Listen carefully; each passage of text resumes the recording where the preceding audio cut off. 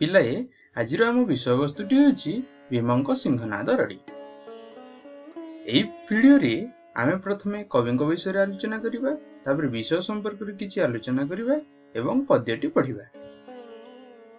ଭୀମଙ୍କ ସିଂହନାଦ ରଡ଼ି ପଦ୍ୟଟି କବି ଶାରଳା ଦାସଙ୍କ ଦ୍ୱାରା ରଚିତ।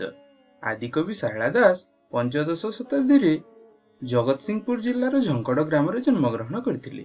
ସେ ସୂର୍ଯ୍ୟବଂଶୀ ରାଜା କପିଳେନ୍ଦ୍ର ଦେବଙ୍କ ସମକାଳରେ ଜୀବିତ ଥିଲେ। ଅର୍ଥାତ୍ ଯେଉଁ ସମୟରେ ରାଜା କପିଳେନ୍ଦ୍ର ଦେବ ଓଡ଼ିଶାରେ ରାଜତ୍ୱ କରୁଥିଲେ ସେହି ସମୟରେ ଶାରଳା ଦାସ ଜୀବିତ ଥିଲେ। ଶାରଳା ଦାସଙ୍କର ପିତୃଦତ୍ତ ନାମ ଥିଲା ସିଦ୍ଧେଶ୍ୱର ପୈଡ଼ା ଅର୍ଥାତ୍ ଯେପରି ଆମମାନଙ୍କର ନାଁ ଦିଆହେଇଛି ଠିକ୍ ସେହିପରି ଶାରଳା ଦାସଙ୍କର ନାଁ ଦିଆହେଇଥିଲା ସିଦ୍ଧେଶ୍ୱର ପୈଡ଼ା କିନ୍ତୁ ଆମେ ତାଙ୍କୁ ଶାରଳା ଦାସ ରୂପେ ଜାଣିଛୁ।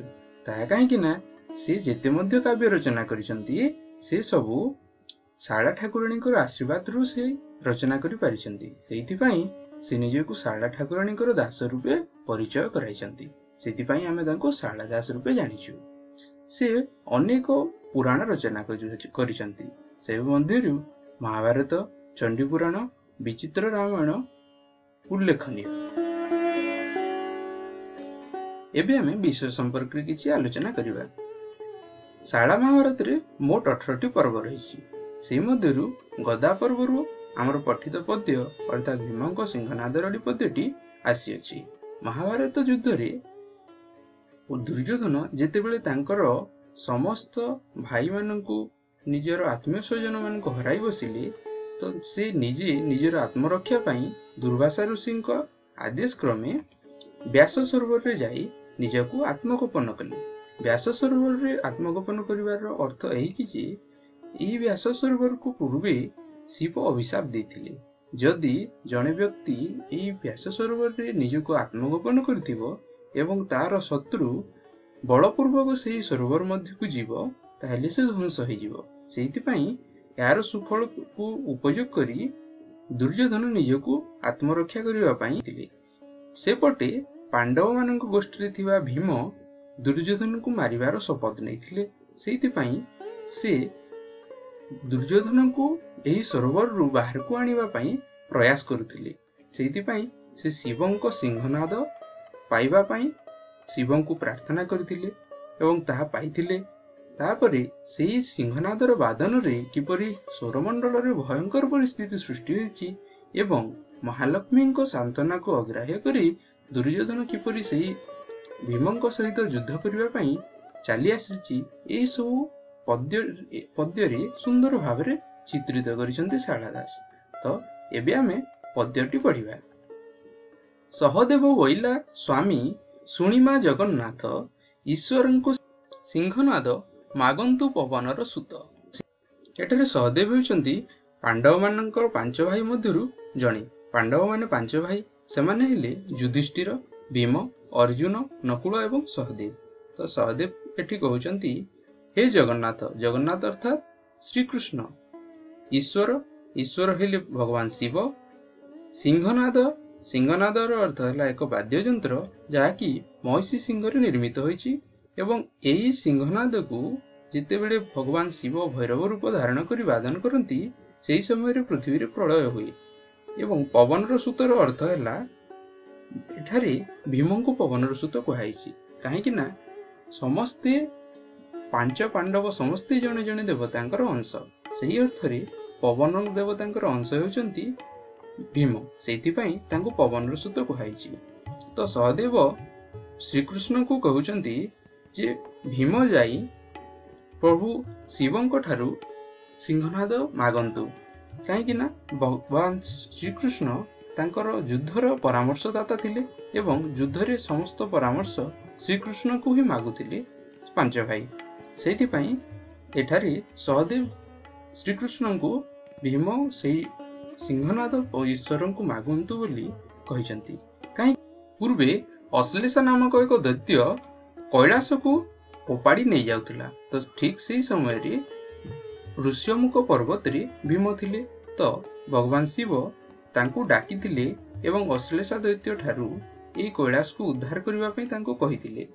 ଠିକ୍ ସେହି ସମୟରେ ଅଶ୍ଲେଷା ଦୈତ୍ୟ ଏବଂ ଭୀମଙ୍କ ମଧ୍ୟରେ ଯୁଦ୍ଧ ହୋଇଥିଲା ଏବଂ ଯୁଦ୍ଧରେ ଭୀମ ଅଶ୍ଲେଷା ଦୈତ୍ୟକୁ ମାରି ଦେଇଥିଲେ।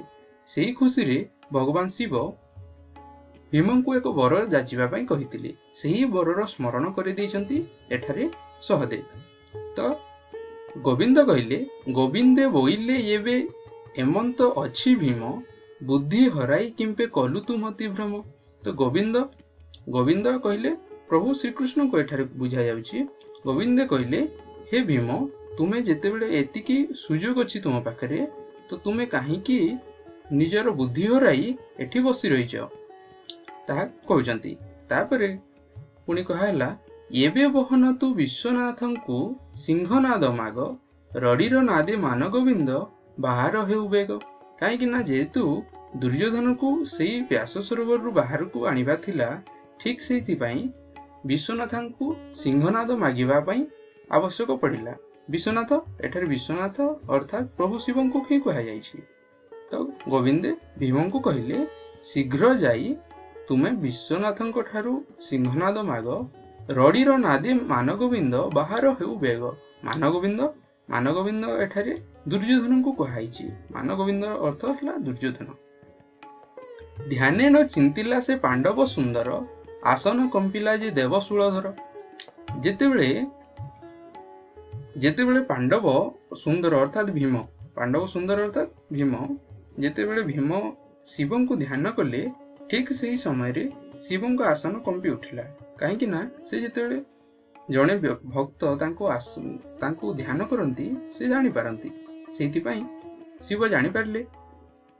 ଧ୍ୟାନେଣ ଜାଣିଲେ ଯେ ଦେବ ପଶୁପତି ଈଶ୍ୱରେ ବୋଇଲେ ଦେବୀ ଶୁଣଗୁ ପାର୍ବତୀ ଏଠାରେ ପଶୁପତି ଅର୍ଥାତ୍ ଭଗବାନ ଶିବଙ୍କୁ ହିଁ କୁହାଯାଇଛି ପଶୁପତି ଧ୍ୟାନ ଦ୍ୱାରା ଜାଣିପାରିଲେ ଶିବ ଯେ ପାଣ୍ଡବ ସୁନ୍ଦର ଅର୍ଥାତ୍ ଭୀମ ତାଙ୍କୁ ଡାକୁଛନ୍ତି ତ ସେଇଥିପାଇଁ ଈଶ୍ୱରେ ବୋଇଲେ ଦେବ ଦେବୀ ଶୁଣକ ପାର୍ବତୀ ସେ ଶିବ କହୁଛନ୍ତି ହେ ପାର୍ବତୀ ଶୁଣ ମତେ ପାଣ୍ଡବ ସୁନ୍ଦର ଭୀମ ମତେ ଡାକୁଛନ୍ତି ବୋଲି ସେ କହିଲେ ଆମ୍ଭନ୍ତ ସିଂହନାଦ ମାଗୁଅଛି ବୀର ଭୀମା ତୁମ୍ଭ ବିଚାରକୁ କିସ ଯୋଗାଇ ଗୋ ଉମା ଏଠାରେ ଭଗବାନ ଶିବ କହୁଛନ୍ତି ହେ ଉମା ଉମା ଅର୍ଥାତ୍ ପାର୍ବତୀଙ୍କୁ ଉମା କୁହାଯାଏ। ସେଇଥିପାଇଁ ସେ ପାର୍ବତୀଙ୍କୁ କହୁଛନ୍ତି ଆମ୍ଭନ୍ତ ସିଂହନାଦ ମାଗୁଅଛି ବୀର ଭୀମା ଆମକୁ ଭୀମ ସିଂହନାଦ ମାଗୁଛି ସେଇଥିପାଇଁ ତୁମକୁ କେମିତି ବିଚାର ହେଉଛି ତାମାନେ ତୁମେ କଣ ଭାବୁଛ?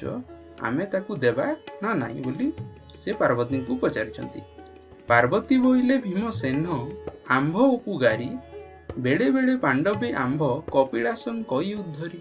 ସତ୍ୟମନା ଇଚ୍ଛି ଦେବ ଯେ ତ୍ରିପୁରାରୀ। ଏଠାରେ ପାର୍ବତୀ କହୁଛନ୍ତି ଭୀମସେନ ଅର୍ଥାତ୍ ଭୀମ ଆମ୍ଭ ଉପଗାରୀ। ଉପଗାରୀର ଅର୍ଥ ହେଲା ଉପକାର କରନ୍ତି।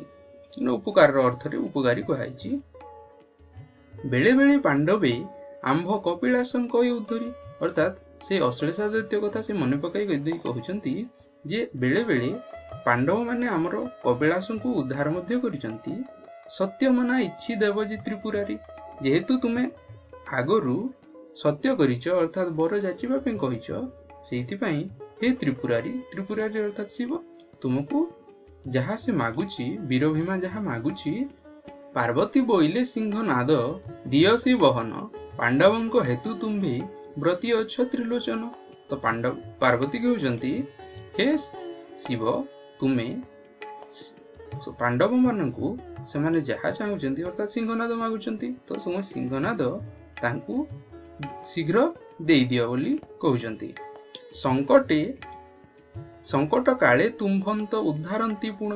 ଦିଅ ସେ ସିଂହନାଦ ପ୍ରସନ୍ନ ବଦଣେନ ତ ତୁମେ ଯେତେବେଳେ ସଙ୍କଟ କାଳରେ ଥାଅ ଠିକ୍ ସେହି ସମୟରେ ତୁମକୁ ଉପକାର କରିଛନ୍ତି।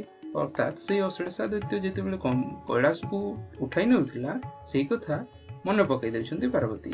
ତୁମେ ଯେତେବେଳେ ସଙ୍କଟ କାଳରେ ଥାଅ ସେଇ ସମୟରେ ତୁମକୁ ଉଦ୍ଧାର କରିଛନ୍ତି। ତ ତୁମକୁ ତାଙ୍କର ସଙ୍କଟ କାଳରେ ଅର୍ଥାତ୍ ସେମାନଙ୍କୁ ସିଂହନାଦ ଏବେ ଯେହେତୁ ଦରକାର ତୁମେ ତାଙ୍କୁ ଏବେ ଦେଇଦିଅ ବୋଲି କହୁଛନ୍ତି। ଦିଅ ସେ ସିଂହନାଦ ପ୍ରସନ୍ନ ବଦଳେନ ହସ ହସ ବଦନରେ ତୁମେ ତାଙ୍କୁ ସିଂହନାଦ ଦେଇଦିଅ ବୋଲି କହୁଛନ୍ତି। ଘନ ଘନ ଆସନ କମ୍ପଇ ସଦାନନ୍ଦ ଚିରିକୁଟିରୁ କାଢି ଦେଲେ ସେ ସିଂହନାଦ। ଘନ ଘନ ଅର୍ଥାତ୍ ବହୁତ ଜୋରରେ ଆସନ କମ୍ପଇ ସଦାନନ୍ଦ। ସଦାନନ୍ଦ ହେଲେ ଶିବ। ଶିବଙ୍କର ସଦାନନ୍ଦ। ଚିରିକୁଟିରୁ କାଢି ଦେଲେ ସେ ସିଂହନାଦ ଅର୍ଥାତ୍ ଚିରିକୁଟି ଅର୍ଥାତ୍ ସେଇ ସିଂହନାଦ ରଖୁଥିବା ମୁଣାକୁ ଏଠାରେ ଚିରିକୁଟି କୁହାଯାଇଛି। ଚିରି- ଚିରିକୁଟି ମୁଣା ଅର୍ଥରେ ଏଠାରେ ପ୍ରୟୋଗ କରାଯାଇଛି। ଚିରିକୁଟିରୁ କାଢି ଦେଲେ ସେ ସିଂହନାଦ। ତ ସଦାନନ୍ଦ ସିଂହ ସିଂହନାଦକୁ ଚିରିକୁଟିରୁ କାଢି ଦେଇଦେଲେ ଭୀମଙ୍କୁ। ଆଜିର ଏହି ଅଧ୍ୟାୟରେ ଆମେ ଏତିକି ପଢିବା। ପରବର୍ତ୍ତୀ ଅଧ୍ୟାୟରେ ଆମେ ଭୀମଙ୍କ ସିଂହନାଦ ପ୍ରାପ୍ତି ସିଂହନାଦର ଗର୍ଜନ ଏବଂ ମାନଗୋବିନ୍ଦ କିପରି ସରୋବରରୁ ବାହାରିଲେ ସେହି ସବୁ ବିଷୟରେ ଆଲୋଚନା କରିବା। ଆଜି ପାଇଁ ଏତିକି। ଧନ୍ୟବାଦ।